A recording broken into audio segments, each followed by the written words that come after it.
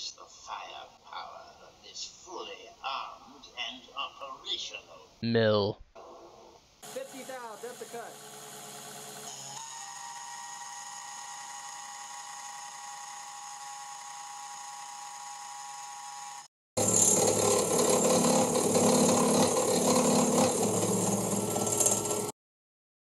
Hey, welcome back to the internet.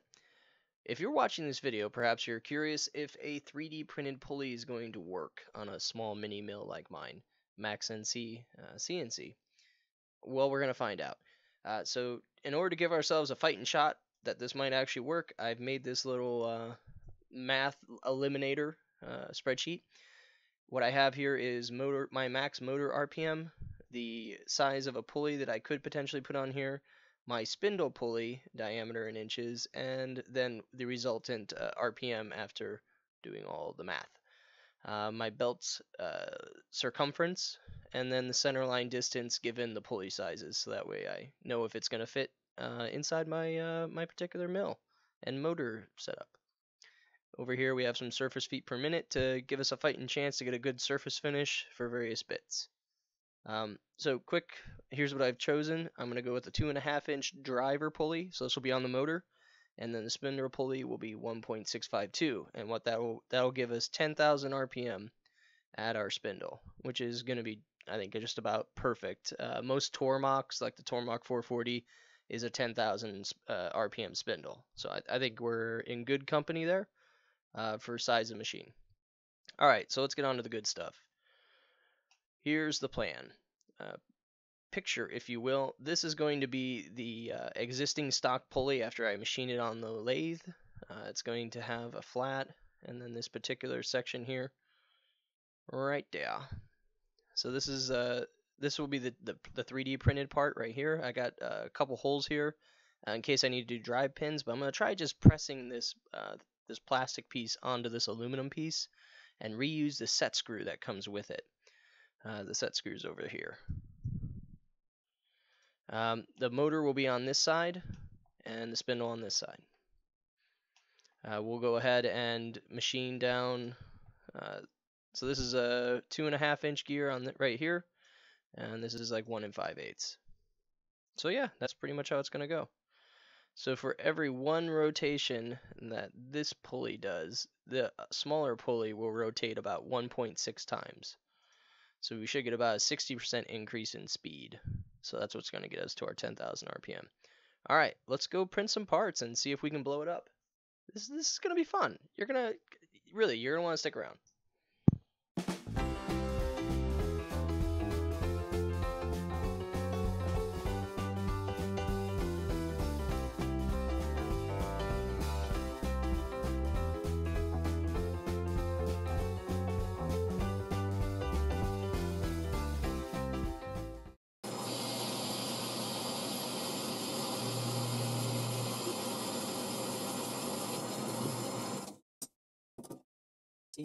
Oh, really close.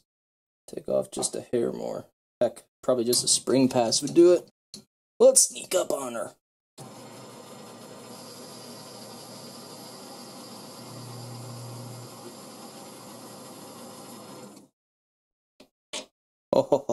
Oh, yes.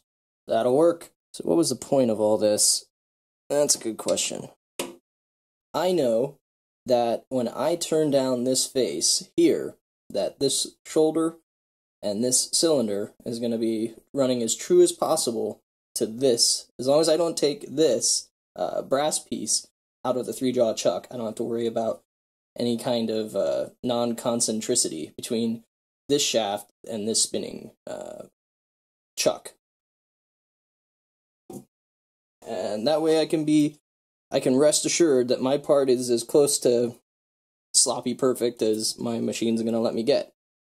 We'll leave that in there. That'll that'll be our drive force, and we'll just take light passes because we're chicken.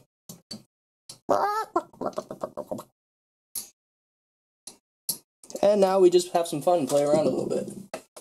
Because uh, I don't have any finished dimensions on any of this. Just gonna fly by the seat of our pants here.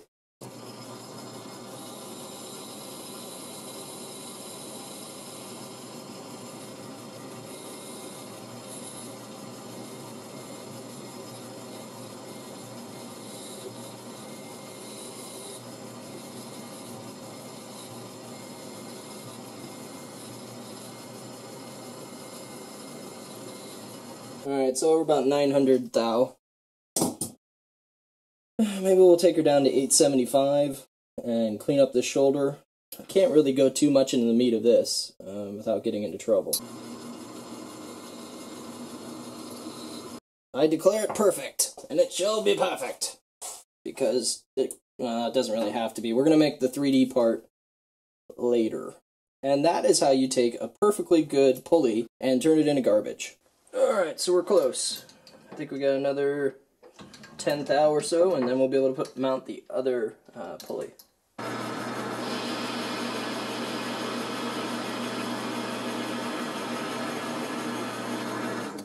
Alright. Oh yeah, she's right. Oh yeah, she's right there.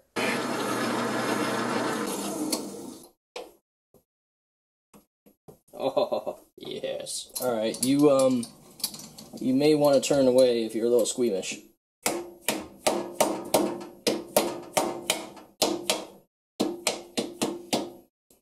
There we go. Crazy like a fox. Alright. Let's go ahead and put that set screw in. Okay, go ahead and shout out if you know what my dilemma is about to be. I need to get down to about here, and my set screw's way too long for that. So I cut off the old one and made this teensy weensy one. So I made this baby set screw here, but I've done boogered the threads, so I think I'm gonna have to file them back into being straight. Uh, and then we'll use that set screw. Otherwise, we're gonna chop off the end of this set screw and get in trouble. Alright, so we've got our small set screw in there. Turn it on.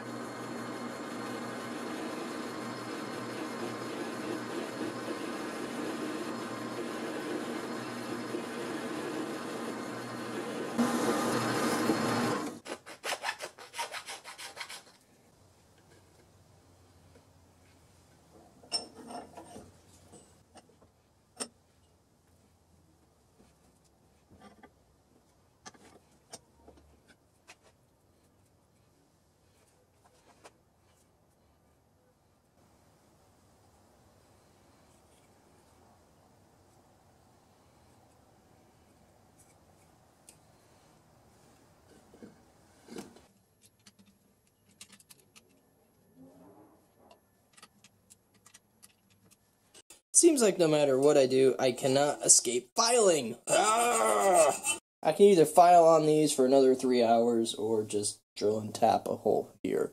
So there'll be two holes. Guess which one I'm gonna do. Now, we'll drill our super precise. Okay, who saw that one coming? Go ahead, raise your hands. Ah, dang it. All of you?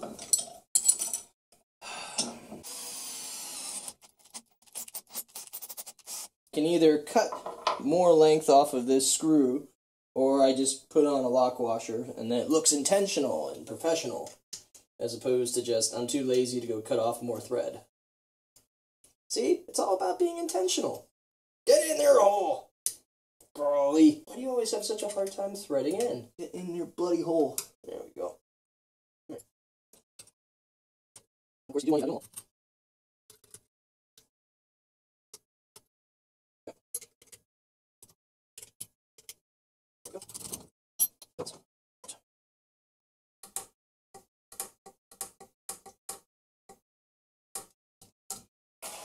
Moment of truth. Will this work? It's definitely catching on something. That's probably because I didn't clean these teeth very well. So there's probably a little bit of plastic. So I'm hoping that if I spin it up, that plastic will just wear in. Only one way to know for sure, and that's to spin it up. I do believe my 3D printer is crap. Alright, let's see if we can lose our teeth. Ooh, something's out of balance.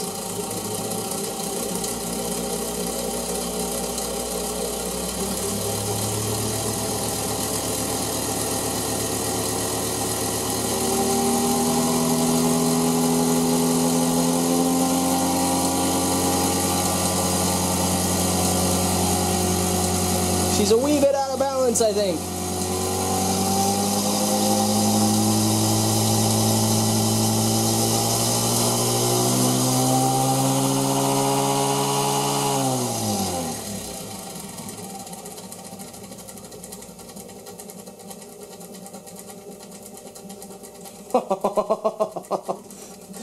It just looks so wobbly. It looks so wo- I don't know if you could. I don't know if this is really coming across, but she looks so wobbly. Okay, so in all fairness, here I should go down below. We are pushing a fly cutter across. So let's see if we can break it real quick. Alright, so we're doing about a thousand RPM right now.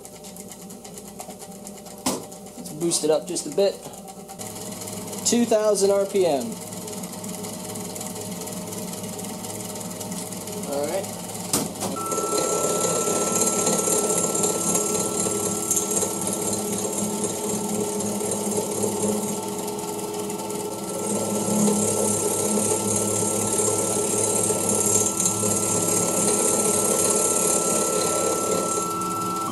Two thou, depth of cut, 20 inches per minute.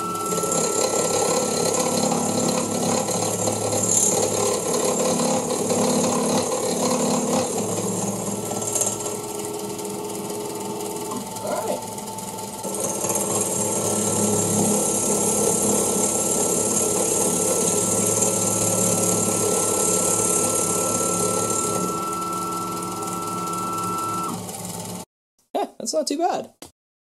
And the surface finish isn't all that bad either. Alright, so we can now fly cut. that's pretty sweet. So that's test one. Let's go ahead and throw in a um, an end mill and see what we can do with this, just for fun and for you know for science. So what we got here is the 7 16ths end mill with 3 8 shank rougher. Before dinner time comes, we're gonna do this real quick. Um, I have no idea what the feeds and speeds for this thing should be. Alright, I'm gonna go with the 5500 RPMs. Alright, so this should be 10 thou, depth of cut, 7 16ths width of cut, 20 inches per minute at 5500 RPM.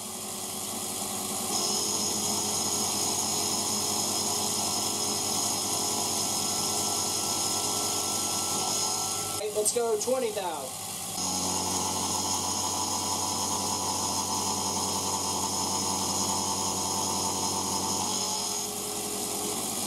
Alright, that was 20 thou depth of cut. 30 thou depth of cut?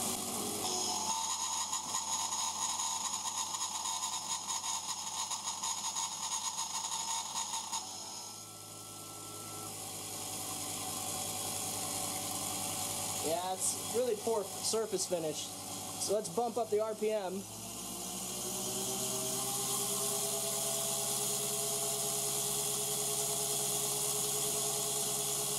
Thirty thou, depth of cut, twenty inches per minute.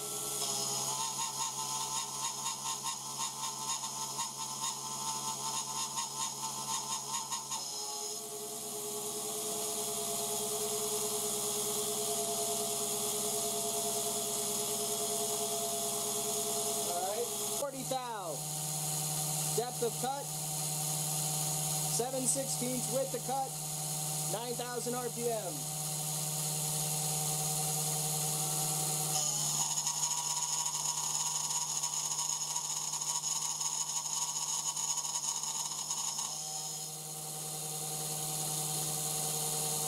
No problem. okay, so update. The new the new fan for the motor is working great. This is ice cold. I mean, ice cold. That's awesome. The new pulleys, even though they sound like a 1960s tractor PTO drive, working great. The rougher end mill, 7 16ths diameter, can go 40 thou, depth of cut at 9,000 RPM. Uh, where's my brush? I don't feel like putting my finger in there and slicing it up. Here we go. Let's take a look at this. Alright, so it's a rougher. And you can tell. well, that was, I mean, that's a did quick work of it. I mean, that was 40 thou. Let's go, let's go 50. Let's go 50 thou depth of cut real quick. 9,000 RPM. I think we can go harder. Here we go. 50 thou depth of cut.